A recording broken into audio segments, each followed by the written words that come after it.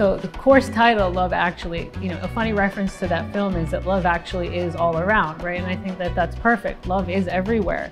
It's something that's never really taught though. I'm Tia Mansouri. I'm an assistant clinical professor with the Department of Child and Adolescent Psychiatry at NYU School of Medicine. My course is Love Actually. I always tell the students that they want to learn about love, but I think more importantly, they want to learn about themselves.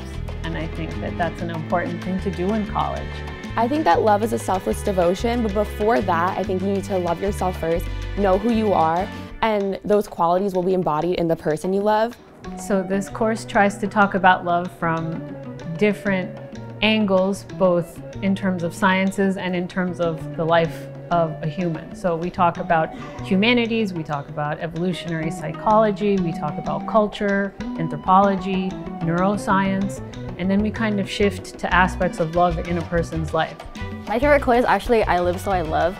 So I think love is life. Like you can't live your life without loving your friends, your family, loving what you do.